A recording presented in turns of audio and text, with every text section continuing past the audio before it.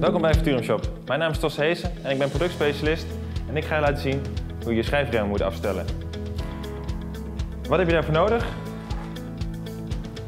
Alleen een inbussleutel, meestal een 5 mm. Je kan hebben bij je schijfremmen dat ze op een gegeven moment scheef gaan staan en daardoor eigenlijk altijd blijven aanlopen. Dat kun je tijdens het fietsen horen, merken, de staat gelijk stil en dan moeten ze opnieuw afgesteld worden. Dat kun je doen door de remklauw opnieuw te centreren. Met de inbussleutel, de remklauw zit vast met twee inbusschroeven. Je draait hem eigenlijk alleen ietsjes los, beide kanten. En wat je daarmee doet is, je uh, zet de remklauw zodanig los dat hij ruimte heeft om te bewegen. En dat geeft ook de mogelijkheid om hem daardoor te centreren. Om het te centreren hoef je eigenlijk alleen maar de rem aan te knijpen. De remklauw pakt op de remschijf en centreert zichzelf.